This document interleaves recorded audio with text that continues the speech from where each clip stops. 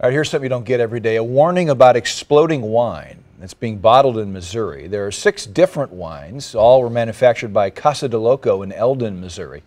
There have been several reports of exploding bottles. Missouri's Division of Alcohol and Tobacco Control suggests keeping the bottles in a secure place and giving them a call. You can find all the information on the KMOV News app and on KMOV.com.